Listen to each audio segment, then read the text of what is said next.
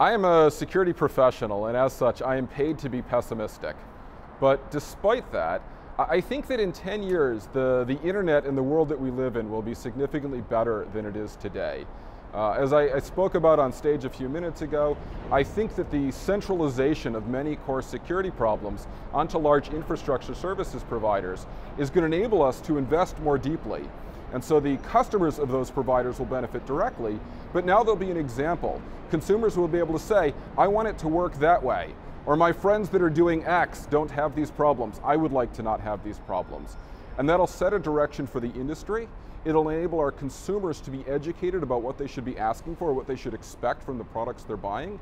And I think that's going to create a virtuous cycle that's going to improve security for all of us.